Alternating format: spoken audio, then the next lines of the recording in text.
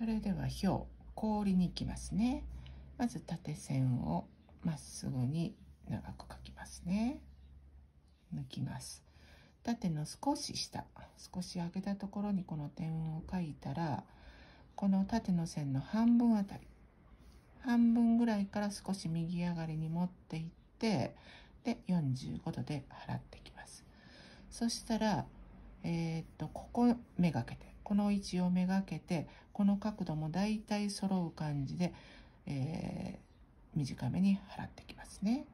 そしたらまた同じ位置ぐらいからこの開き具合角度だいたい揃えて45度で来て、えー、右に合わせて抜きます。その時に縦を少し残す位置に左右の払いを書いてくると良いです。